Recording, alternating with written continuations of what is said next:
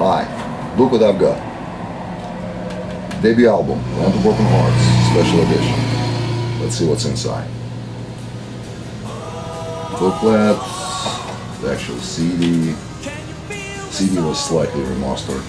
Plus we included uh, four bonus tracks and one track which we discovered accidentally a couple of months ago and re-recorded it with Henrik again. And from some of our friends.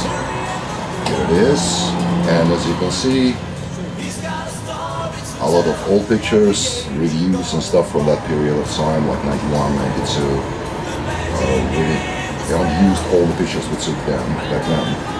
And now all of them are on this one. And the booklet.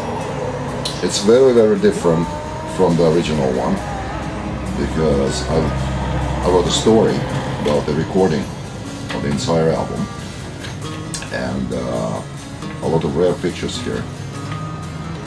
Uh, photo sessions, Peter Bronte who mixed the first album and so on, so on, so on.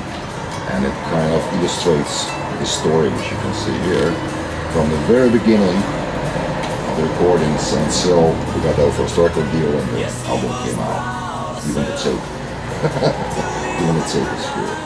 And of course a little paragraph about the re-recording of the hidden, previously unreleased track, which is on here. It's Henrik So uh, as you can see there's a lot of stuff. And of course lyrics for all the songs yeah, special edition, 2018.